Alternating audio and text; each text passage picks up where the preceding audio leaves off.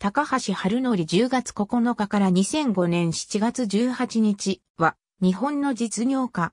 イアイインターナショナルの社長として、バブル期には、ホテルリゾート開発事業を中心に総資産1兆円超の企業グループを構築し、環太平洋のリゾート王と称された。兄は、電通顧問の高橋春之。1945年10月9日に、疎開先である長崎県平戸島に生まれた後、東京に戻り、慶応義塾幼稚舎に入学した。その後、慶応義塾普通部に進学し、1961年、慶応義塾高等学校に入学したが、架空パーティー兼事件に巻き込まれ退学処分を受け、世田谷学園高校に転校した。その後、1964年に一般入試により慶応義塾大学法学部政治学会入学した。1968年に慶応義塾大学法学部を卒業し、日本航空に入社した。在職中の1972年に、後のイアイインターナショナル国用開発を設立した。1973年に北海道の清少と言われた岩沢康氏の次女と結婚する。1976年に日本航空を退社して実業家としての道を歩み始める。日本航空退社後、当時経営不振に陥っていた電子部品商社の株式会社 EIE の副社長に就任し、同社の経営を立て直し、1983年に同社の社長に就任し、1985年に株式の店頭公開を果たす。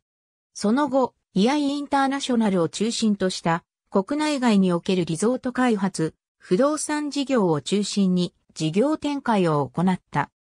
1986年のハイアットリージェンシー裁判への投資を皮切りに、1987年には香港のボンドセンター、オーストラリアにボンドコーポレーションと共同でサンクチュアリー工部を開発。また、オーストラリア発の私立大学であるボンド大学を設立した。1989年にはニューヨークのリージェントニューヨークを建設するなど、世界各地で不動産投資、開発事業を行った。リージェント香港、リージェントシドニーを買収、フィージー、タヒチボラボラ島でのリゾート開発を行った。また、ベトナム沖では油田の開発も行った。日本国内でも積極的に事業展開を行い、1986年に店頭公開をした株式会社ヤイーをはじめとして、東証二部上場の森電機など、複数の上場企業の経営を行った。1985年に共和信用組合の理事長に就任した。1987年に伊豆シャボテン公園、伊豆海洋公園、伊豆グランパル公園を買収。携帯電話の普及を目論み、日本携帯電話を設立した。また、公益財団法人情報科学国際交流財団を設立し、初代理事長に就任した。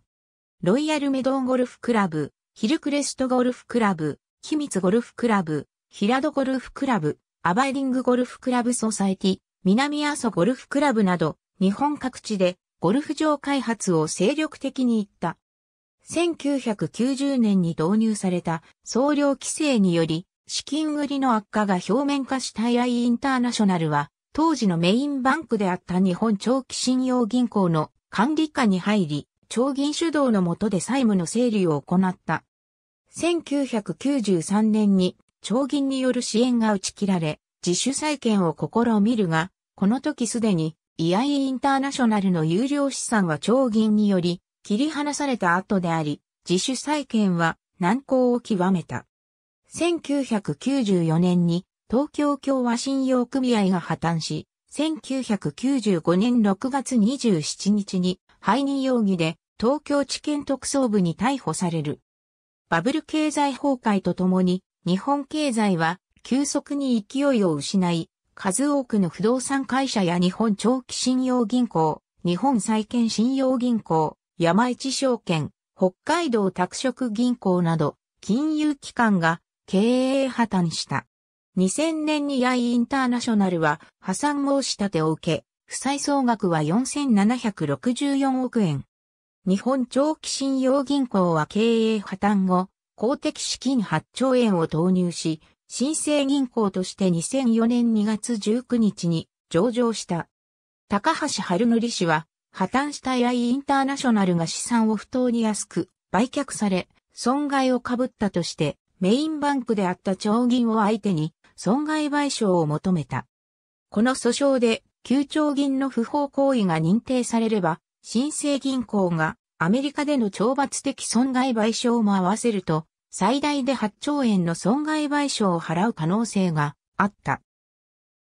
新生銀行は2004年3月15日、東京地裁に和解上申書を提出。同年4月10日には、預金保険機構の子会社、整理回収機構を仲介役として、イアイインターナショナル破産管財人と和解交渉をスタートさせた。